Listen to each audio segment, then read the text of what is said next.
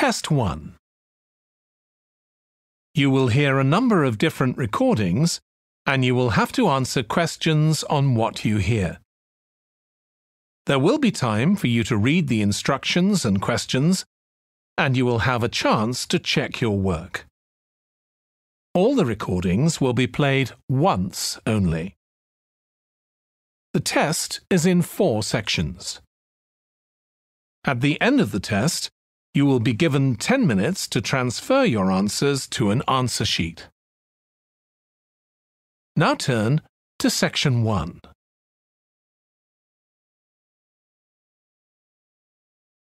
Section 1 You will hear a telephone conversation between a woman who wants to attend a cookery class and an official at a tourist information centre. First, you have some time to look at questions 1 to 6.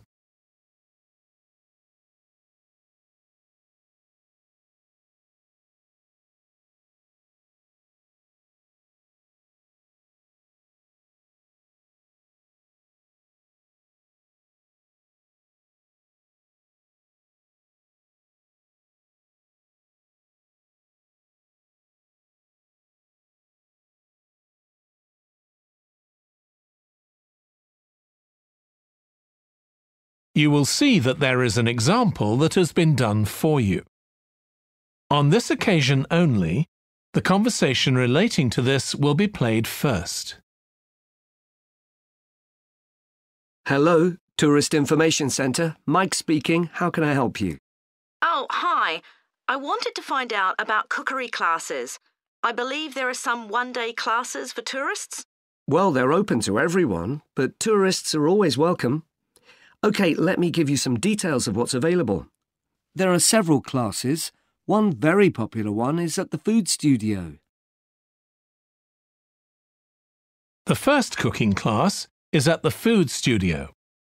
So studio has been written in the space. Now we shall begin. You should answer the questions as you listen because you will not hear the recording a second time. Listen carefully and answer questions 1 to 6. Hello, Tourist Information Centre. Mike speaking. How can I help you? Oh, hi. I wanted to find out about cookery classes. I believe there are some one day classes for tourists. Well, they're open to everyone, but tourists are always welcome. OK, let me give you some details of what's available. There are several classes. One very popular one is at the Food Studio. OK. They focus on seasonal products, and as well as teaching you how to cook them, they also show you how to choose them. Right, that sounds good. How big are the classes? I'm not sure exactly, but they'll be quite small. And could I get a private lesson there? I think so. Let me check. Yes, they do offer those. Though, in fact, most of the people who attend the classes find it's a nice way of getting to know one another. I suppose it must be, yes. And this company has a special deal for clients where they offer a discount of 20% if you return for a further class. OK, but you said there were several classes. That's right. Another one you might be interested in is Bond's Cookery School. They're quite new.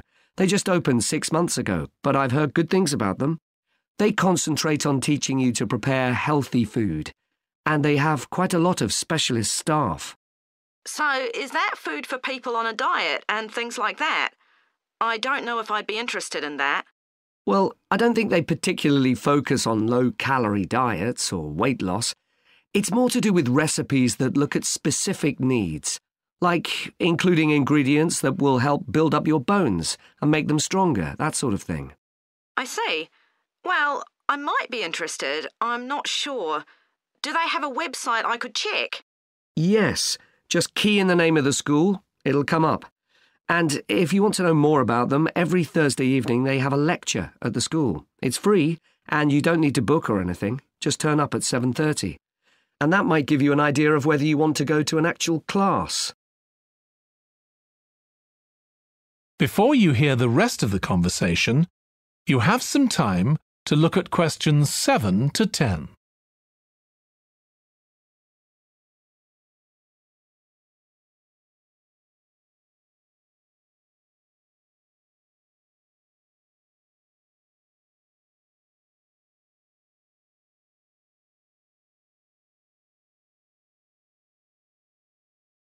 Now listen and answer questions 7 to 10. OK, there's one more place you might be interested in. That's got a rather strange name. It's called the Arretsa Centre. That's spelled A R R E T S A. OK. They've got a very good reputation.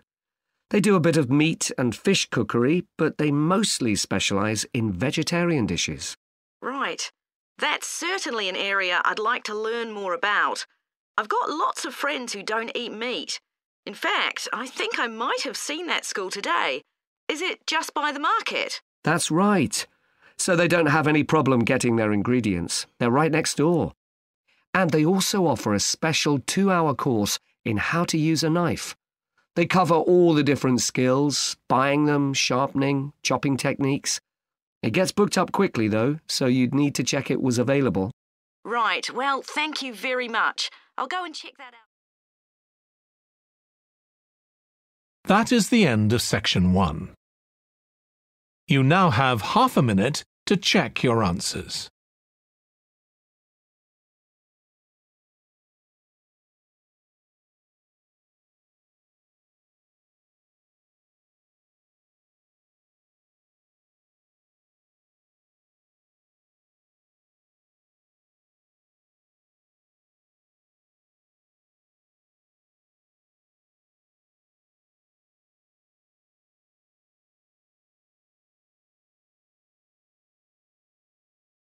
Now turn to section 2.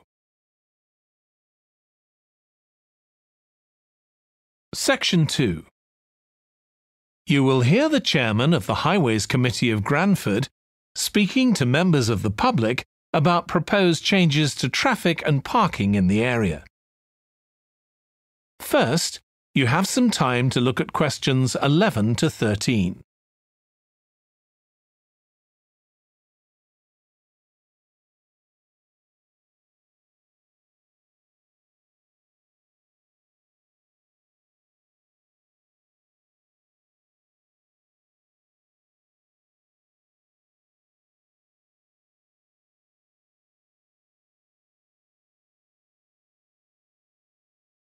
Now listen carefully and answer questions 11 to 13.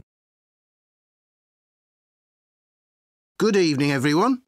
My name's Phil Sutton, and I'm chairman of the Highways Committee. We've called this meeting to inform members of the public about the new regulations for traffic and parking we're proposing for Granford. I'll start by summarising these changes before we open the meeting to questions. So, why do we need to make these changes to traffic systems in Granford? Well, we're very aware that traffic is becoming an increasing problem. It's been especially noticeable with the increase in heavy traffic while they've been building the new hospital. But it's the overall rise in the volume of traffic of all kinds that's concerning us. To date, there's not been any increase in traffic accidents, but that's not something we want to see happen, obviously. Uh, we recently carried out a survey of local residents, and their responses were interesting. People were very concerned about the lack of visibility on some roads due to cars parked along the sides of the roads. We'd expected complaints about the congestion near the school when parents are dropping off their children or picking them up. But this was on top of the list and nor were noise and fumes from trucks and lorries, though they were mentioned by some people. We think these new traffic regulations would make a lot of difference, but we still have a long way to go. We've managed to keep our proposals within budget, just, so they can be covered by the Council. But of course, it's no good introducing new regulations if we don't have a way of making sure that everyone obeys them and that's an area we're still working on with the help of representatives from the police force. Before you hear the rest of the talk, you have some time to look at questions 14 to 20.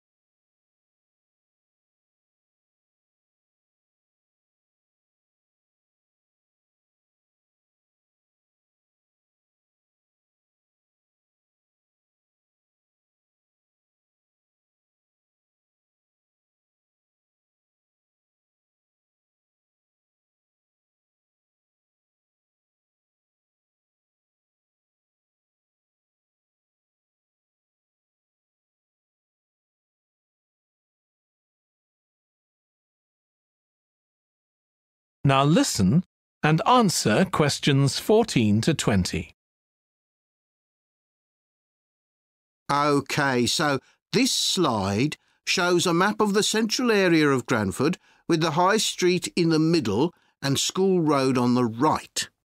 Now, we already have a set of traffic lights in the High Street at the junction with Station Road, but we're planning to have another set at the other end at the School Road junction to regulate the flow of traffic along the High Street. We've decided we definitely need a pedestrian crossing. We considered putting this on School Road just outside the school, but in the end we decided that could lead to a lot of traffic congestion. So we decided to locate it on the High Street, crossing the road in front of the supermarket. That's a very busy area, so it should help things there. We're proposing some changes to parking. At present, parking isn't allowed on the High Street outside the library but we're going to change that and allow parking there, but not at the other end of the high street near School Road. There'll be a new no parking sign on School Road just by the entrance to the school, forbidding parking for 25 metres. This should improve visibility for drivers and pedestrians, especially on the bend just to the north of the school. As far as disabled drivers are concerned, at present they have parking outside the supermarket, but lorries also use those spaces, so we've got two new disabled parking spaces on the side road up towards the bank. It's not ideal, but probably better than the present arrangement. We also plan to widen the pavement on School Road. We think we can manage to get an extra half metre on the bend just before you get to the school, on the same side of the road. Finally, We've introduced new restrictions on loading and unloading for the supermarket, so lorries will only be allowed to stop there before 8am. That's the supermarket on School Road. We kept to the existing arrangements with the High Street supermarket. OK, so that's about it. Now, would. That is the end of section two. You now have half a minute to check your answers.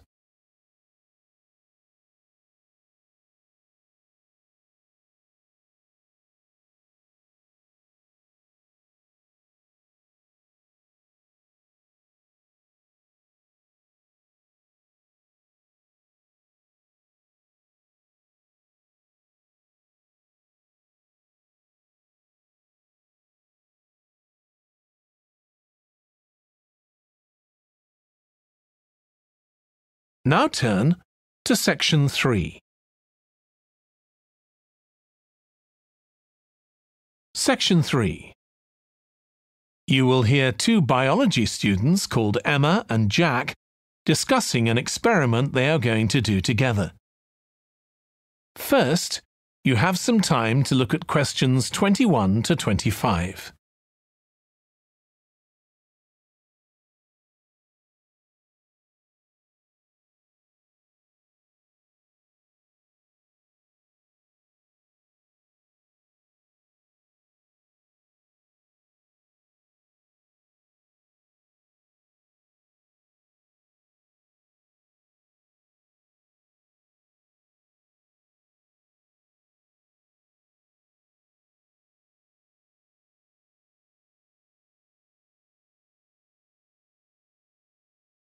Now listen carefully and answer questions 21 to 25.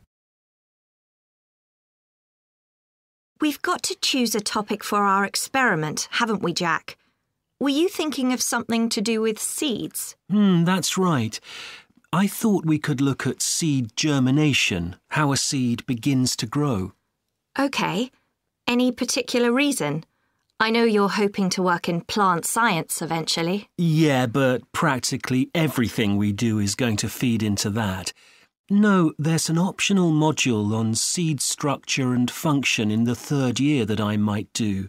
So I thought it might be useful for that. If I choose that option, I don't have to do a dissertation module.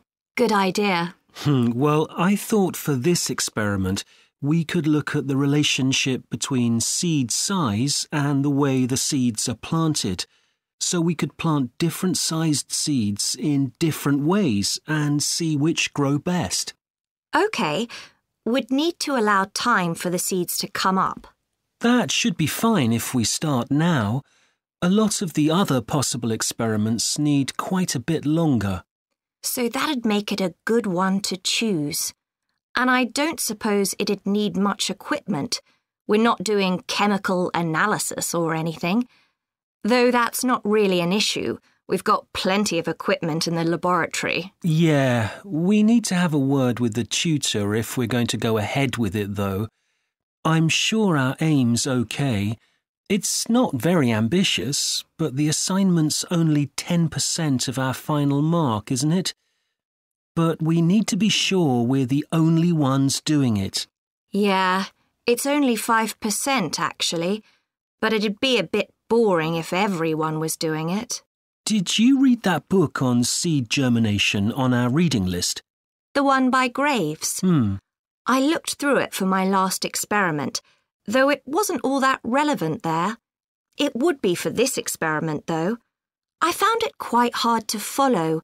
Lots about the theory, which I hadn't expected. Yes, I'd been hoping for something more practical. It does include references to the recent findings on genetically modified seeds, though. Yes, that was interesting. I read an article about seed germination by Lee Hall.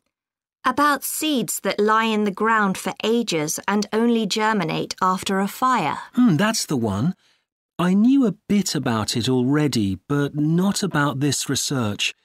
His analysis of figures comparing the times of the fires and the proportion of seeds that germinated was done in a lot of detail.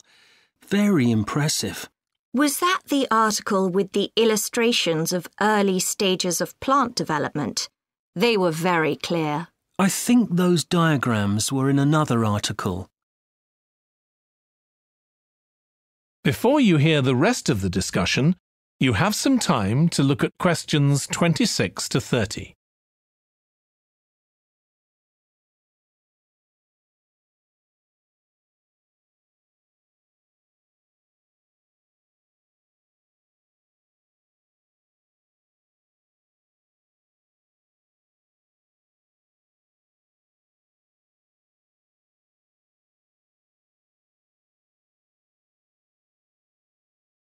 Now listen and answer questions 26 to 30.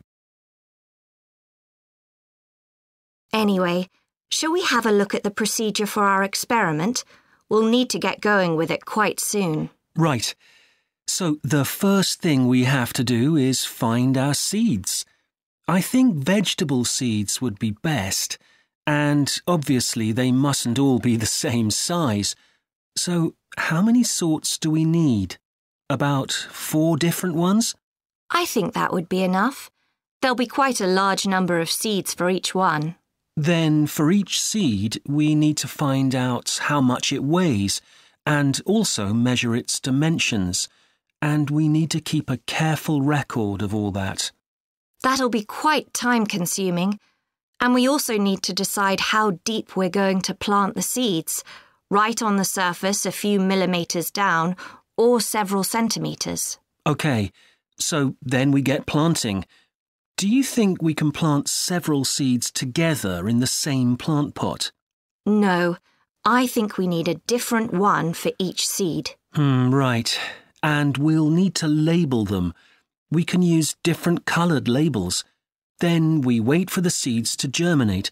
I reckon that'll be about three weeks, depending on what the weather's like. Then we see if our plants have come up and write down how tall they've grown. Then all we have to do is look at our numbers and see if there's any relation between them. That's right. So then we get. That is the end of section 3. You now have half a minute to check your answers.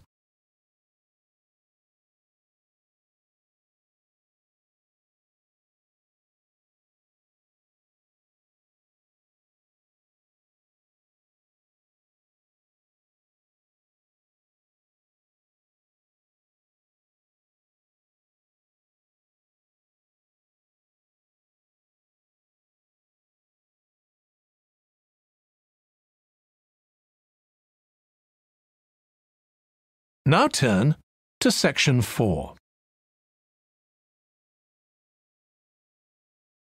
Section 4. You will hear part of a lecture on an environmental studies course about recent research on how animals are adapting to urban environments. First, you have some time to look at questions 31 to 40.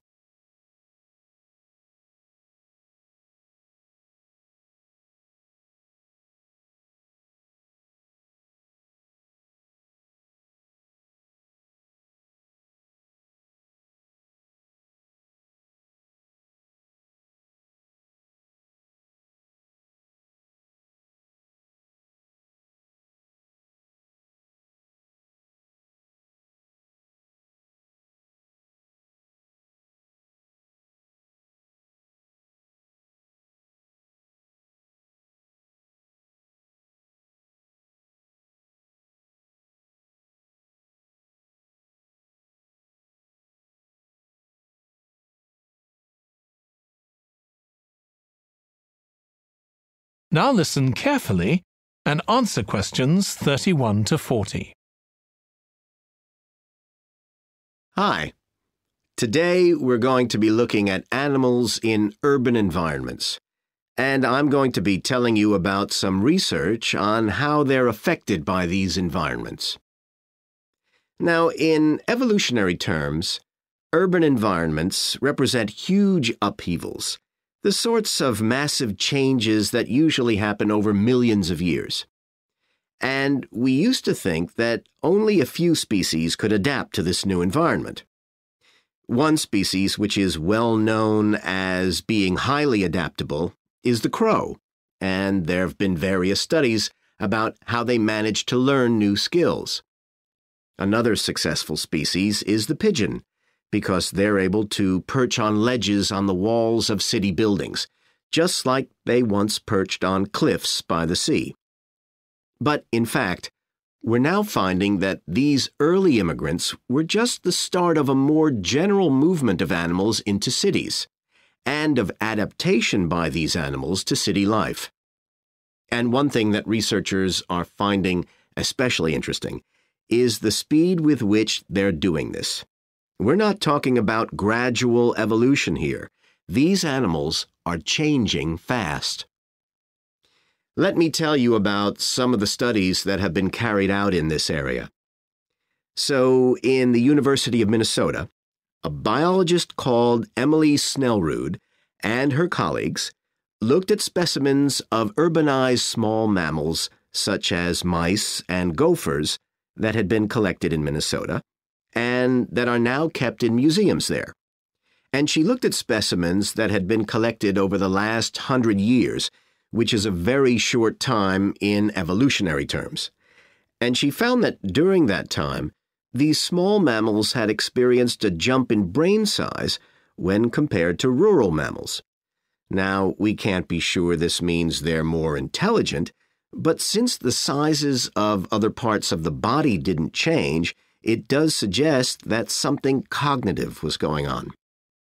And Snell-Rood thinks that this change might reflect the cognitive demands of adjusting to city life, having to look in different places to find food, for example, and coping with a whole new set of dangers. Then, over in Germany, at the Max Planck Institute, there's another biologist called Catarina Miranda who's done some experiments with blackbirds living in urban and rural areas. And she's been looking not at their anatomy, but at their behavior. So, as you might expect, she's found that the urban blackbirds tend to be quite bold. They're prepared to face up to a lot of threats that would frighten away their country counterparts. But there's one type of situation that does seem to frighten the urban blackbirds, and that's anything new, anything they haven't experienced before. And if you think about it, that's quite sensible for a bird living in the city.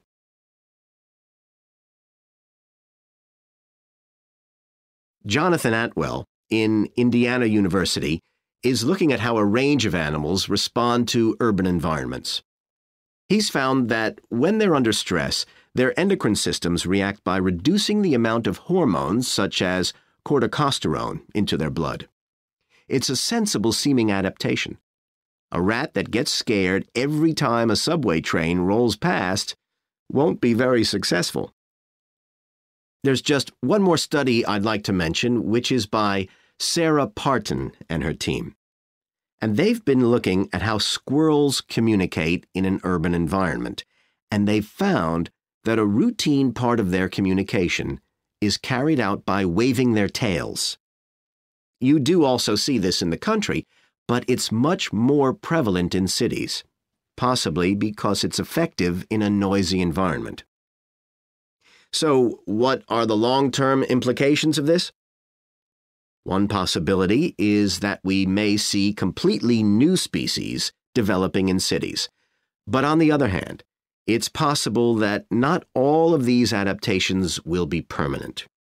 Once the animals got accustomed to its new environment, it may no longer need the features it's developed. So now we've had a look at adaptation.